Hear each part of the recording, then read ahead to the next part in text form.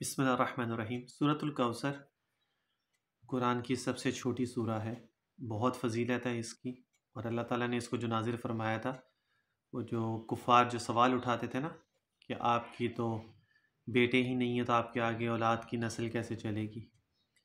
तो उस मौके पर अल्लाह ताला ने इसको नाजिल फरमाया था। इसकी फ़जीलत के अंदर जो है ना, दो फजीलतें इसकी हैं। एक ये कि एक हज़ार मरतबा रोज़ाना अगर आप सतुल कौसर पढ़ते हैं, एक हज़ार मरतबा वन थाउज़ेंड टाइम और शुरू और आखिर में ग्यारह ग्यारह दफ़ा दूध इब्राहिम पढ़ते हैं। और नीयत ये रखते हैं कि मैं इसलिए ये पढ़ रहा हूँ कि मुझे आप वसल्लम की ज़्यारत नसीब हो जाएगी। तो इन ताला उस शख्स को आप की ज़्यारत नसीब हो जाएगी। एक हज़ार मरतबा सतुल कौसर पढ़ें, शुरू और आखिर में ग्यारह ग्यारह दफ़ा दूध इब्राहिम पढ़ें।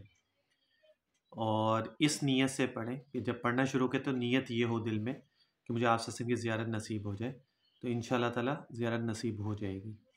एक बात, दूसरा ये कि दुश्मन से हिफाजत के लिए भी इस सूरत को पढ़ा जाता है और तीन सौ तेरह दफ़ा शुरू और आखिर में दुरुद इब्राहिम पढ़ लें और three hundred and thirteen times, तीन सौ तेरह दफ़ा इसको पढ़ लें और जब इन नशानिया का होल अब तर आए तो तस्वुर दुश्मन का कर लें, जो भी आपका दुश्मन है। तो इन ताला इससे भी हिफाजत रहेगी इंसान की।